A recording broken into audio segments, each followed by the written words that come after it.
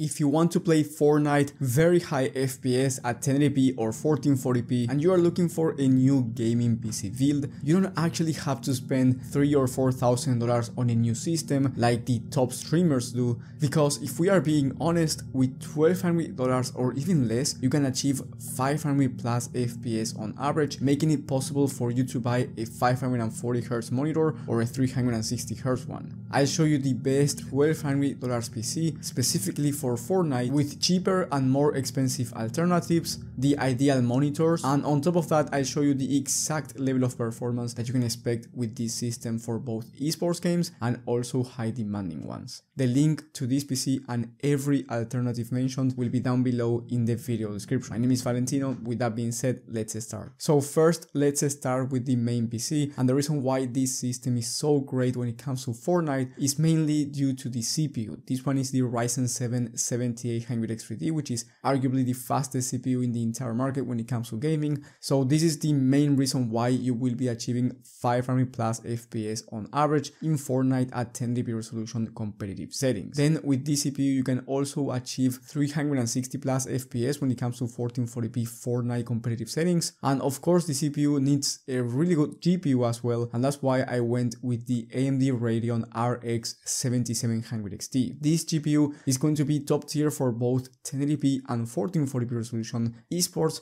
and high demanding games. Here you get 32 gigs of the DDR5 memory, which is going to be ideal for gaming but also for streaming. Then you get an aftermarket CPU cooler for the Ryzen 7 going for around 30 bucks. Then you get a very nice motherboard from the AM5 platform in the ASRock B650M Pro RS and I gotta say this is very upgradable over time, meaning that down the line if you want to upgrade your CPU, you can do so without having to replace the entire motherboard, which is a huge pro. Then you get a 1TB SSD, which is going to be plenty of storage if your main game is going to be Fortnite. You get plenty of airflow as well because you get the Fractal Design Pop Mini Air for the case. And last but not least, you get an A tier ready power supply in the NZXT 750 watt 80 plus gold power supply. So your PC will not randomly shut down or just be in any risk of any kind. And now let me show you the exact level of performance that you can expect with this system in different games. Now in esports shooters, you can expect the same 500 plus FPS on average, possibly even higher because those are even easier to run than Fortnite, they are better optimized. And then if you want to play high demanding games, well,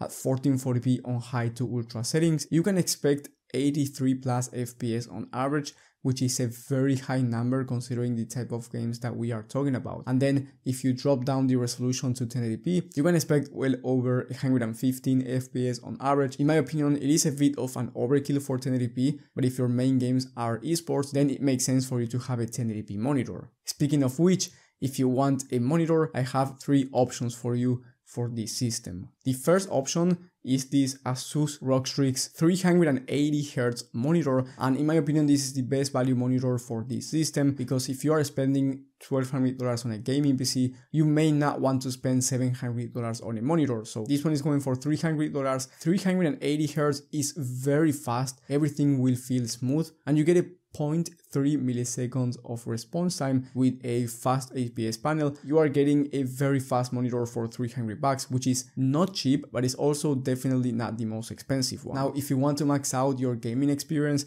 then I do recommend you going with a 540Hz monitor. And in that case, you can get the Asus ROG Swift Pro. This one is a 540Hz 1080p monitor maxed out so if you want to achieve the highest fps and be able to see those and be able to see those FPS, then this monitor is perfect, but it is quite expensive at $800. And then if you want to play at 1440p instead and have a high refresh rate monitor, then I recommend you the Omen 27QS. This is a 240Hz 1440p monitor, right now going for $350, so it's not super expensive and at the same time you get better image quality than 1080p, but you still get a high refresh rate monitor. 240Hz, trust me guys, is very smooth to compete as well. Now, the total price for this system is going to be around 1250 bucks by the time that I'm recording this video. Sometimes the 7800 X3D go for 40 to 60 dollars discount and in that case the price will be under 1200 dollars. So I do recommend you checking the latest prices and availability from the links in the description. And then if you have more money to spend for around 1400 bucks, I recommend you upgrading the graphics card to the 7800 XT. In terms of esports games,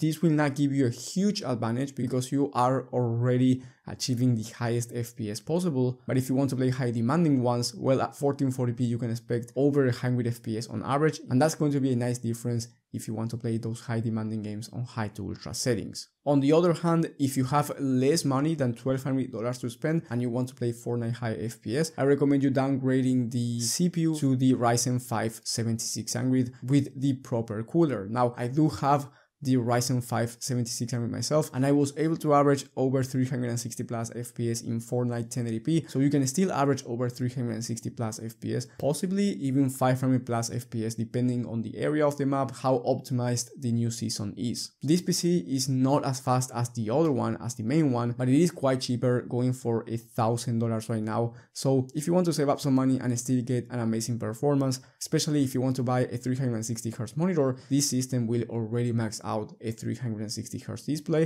then this is going to be the perfect PC for you. Remember all the links for the main one, the monitors and everything else will be in the description and in the top link you will find my personal PC help in case you want me to help you find the right system. And if you have a different budget, let's say you have more than $2,000 to spend or you have less than 1000 then I recommend you watching my video on the best PC builds of the month for 1080p, 1440p and 4K. You will have that one in the top right of the screen. Thank you guys for watching, thank you for support and I will see you on the next one.